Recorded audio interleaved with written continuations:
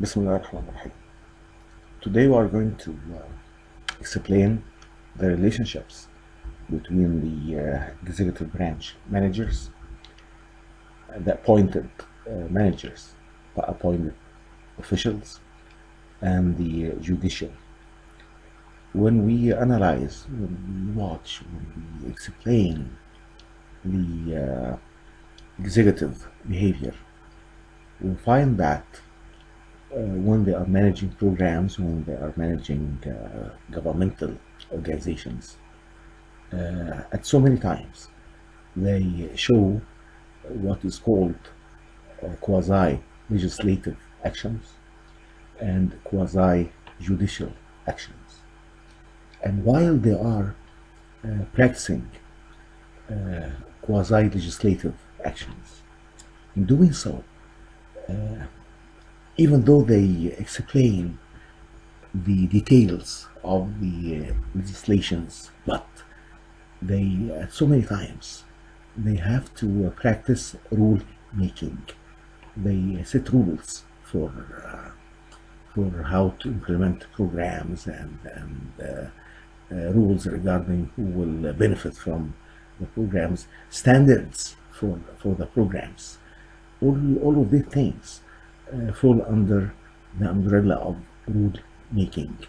So uh, this uh, create a relationship between them and the judiciary uh, branch branch, and also uh, their their behavior sometimes exemplify and show quasi judicial uh, behavior and and uh, the following parts will explain these uh, these two behaviors. The quasi legislative and the quasi judicial actions. The relationship between administrative agencies and the ju- judiciary derives from the legal foundations of administrative actions some of which are called quasi legislative and, and others are called quasi judicial. Those that are quasi legislative uh, elaborate the details of the legislation. You heard from me so many times that uh, even though legislatures uh, make the uh, de- debate and, and develop and, and make policies through legislations, uh, but actually those who set the details, the procedures through which legislations are implemented and programs are created are actually those who make policies. So, uh, as we have noted, those and most legislation is necessarily and intentionally general leaving considerable room for interpretation or discretion on the part of the administrator because after all administrators they have uh, uh, good knowledge they have uh, experience as uh, we all know by now regarding how how their governmental agencies are, managed and about how the programs should be should be implemented. They are the uh, the persons who have the complete knowledge regarding programs and agencies. And and as an example, an agency may be required by law to set safety standards for nuclear powered electric utilities, but they receive little guidance about which specific standards should be employed and adopted. The agency would seek then to determine appropriate standards. After all, there are no standards, so they have to set those standards by themselves and then develop rules to govern implementation of the legislation. And here they would be viewed as making uh, rule making and that falls under the umbrella of the uh, uh, judicial branch of government. Rulemaking in general is uh, concerned with establishing general guidelines that would apply to class of people or a class of actions in the future. in most cases, rulemaking is fairly straightforward, involving uh, notice, comment, and steps to ensure an adequate record. In other cases, legislation requires greater detail and great formality in the rulemaking process. Uh, as an example, food, the Food and Drug Administration regulations and uh, others that involve high risk require a formal rule making process, very specific process and very specific steps. Formal rulemaking procedures require that the agency issue its rule only after trial type hearing procedures are completed. Several important provisions were added. Uh, these included measures that reduce regulatory demands in some circumstances involving smaller uh, for-profit, non-profit, and public sector organizations. Administrative agencies not only must take into account the impact of new regulations on smaller agencies, but also must ensure a requisite level of flexibility in the uh, rules to accommodate agency compliance and uh, reporting without adding to administrative costs. So, uh, so it's requisite that agencies must have some some room for flexibility in, during the implementation. Other administrative actions are quasi-judicial in that they produce orders relating to individual cases. They judge individual cases. They set rules for individual cases. For example, following the issuance of uh, safety standards for nuclear power plants, an administrator might have to decide if a particular planet has met those standards. So it would be as if the administrator is, uh, is judging the, uh, the planets, is judging the uh, individual uh, cases.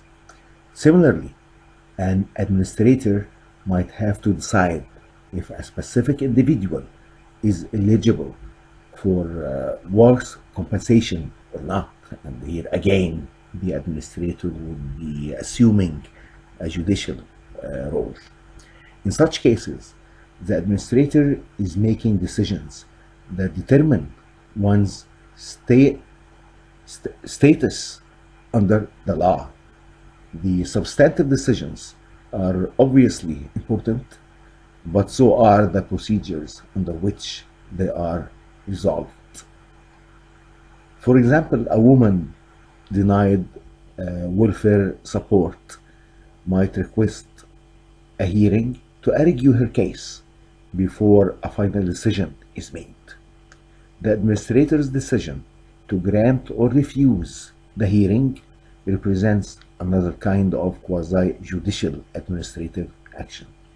So here we find that during the implementation, during the management of different programs, administrators they, they make they make decisions which have uh, legal uh, uh, consequences uh, regarding those affected by the uh, decisions. In quasi-judicial administrative actions, often called adjudication, procedural issues such as those we just mentioned are of special importance. There is a desire that citizens be treated fairly and, and uh, not, not, not randomly, and they should not be subjected to arbitrary decisions. Consequently, where standards of due process are applied, a notice of the proposed action must be given and there must be a chance for the affected party to respond and have a room to, to defend and to explain their case. And there must be an independent decision maker and an opportunity for, for appeal, exactly as if the person is standing in front of a court.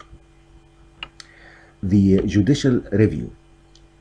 The, the courts may review administrative actions in rulemaking, in adjudication, in other areas through what's called judicial review. And, and here emerges the relationship with the uh, judicial branch, uh, a, a, complete, uh, uh, an outright interaction with the judicial uh, branch through the judicial review. Such review typically occurs when a party suffering legal wrong because of any action from the agency or adversely affected or aggrieved by agency action. If they have grievances, they uh, they uh, go to court and they uh, they all are uh, presenting their, their case in front of the court. And uh, those affected, of course, when they go to court, they will be seeking judicial remedy solutions. The court reviews the case in light of constitutional, statutory, and executive provisions and determine the appropriateness of the administrative action.